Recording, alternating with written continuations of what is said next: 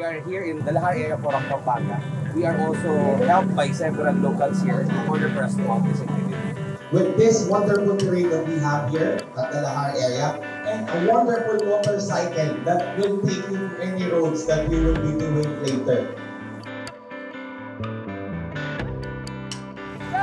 The challenges were fun naman. Also taught us a little bit about the Serow, uh, the specs, uh, what's new with the bike.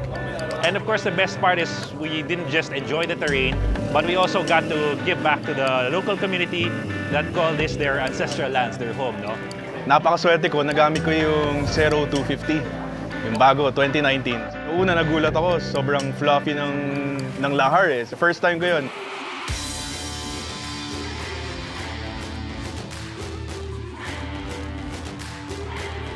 I don't usually ride off-road. I'm more of a street bike rider. So this was uh, very new to me. But thankfully, yung bike. The Yamaha Serow is very forgiving for beginners like me. The tires have really great traction on this loose terrain.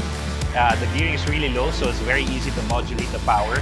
And uh, of course, the ride is great even over the rough stuff. I've used Vespa Road before. Maraming binago yung Yamaha to make it a better trail bike. Maganda yung compression damping ng suspension. It's the perfect bike for this kind of uh, riding.